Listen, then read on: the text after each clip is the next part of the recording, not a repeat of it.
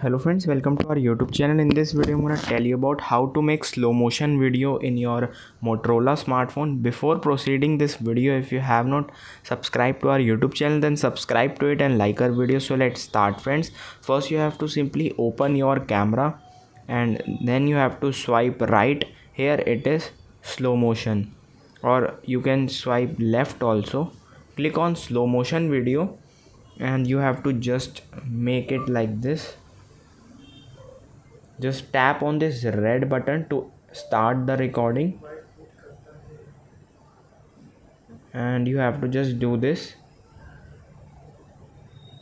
And it, I have make a slow motion video. This is how you can make it. You can see